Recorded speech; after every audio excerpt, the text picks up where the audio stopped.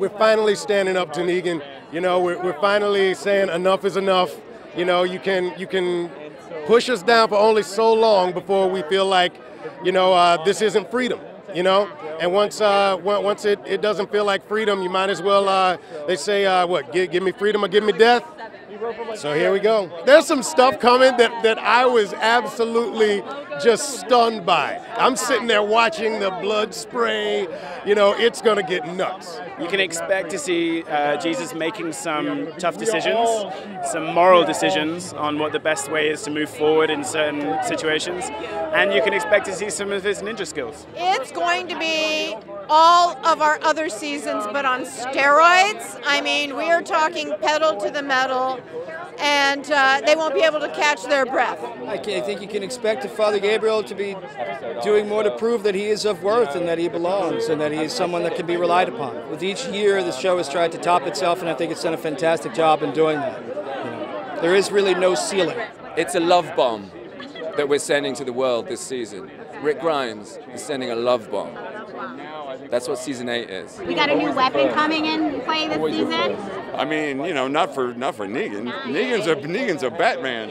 I keep thinking he needs like a tiger or a gun, one of those two things. So we'll see if we can work something out. A lot of feistiness. It gets pretty intense for Maggie this year. She definitely takes no prisoners.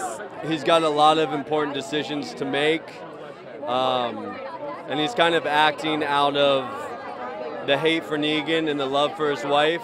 I think I think uh, Aaron is is finally uh, dropped the diplomacy um, that he once had, that he once uh, you know held to so strongly. I think that in this in this world with the saviors, with Negan, you know, diplomacy just doesn't work. They can expect a lot of explosions, a lot of surprises, um, definitely a lot of action, and uh, they can expect to find out a little more about what Jadis is about. It is exactly set up as all-out war, and I think after season seven and what was set up this year, it's on on. It's on. There's so much story left to tell, and like I, I really feel like every single character on this show should could have a spinoff. You know what I mean? So we could go on forever, to be honest. Yeah, it's crazy. I'll be like 95, like.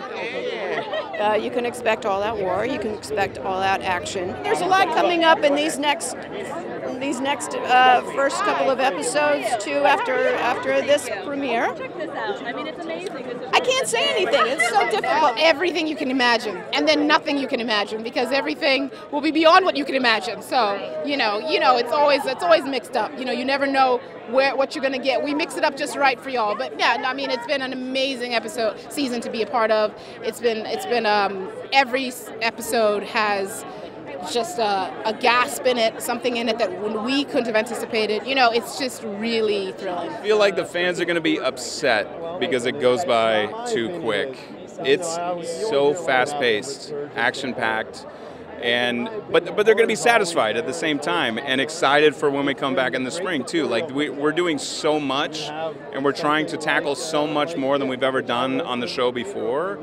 That's that's what I'm most excited about.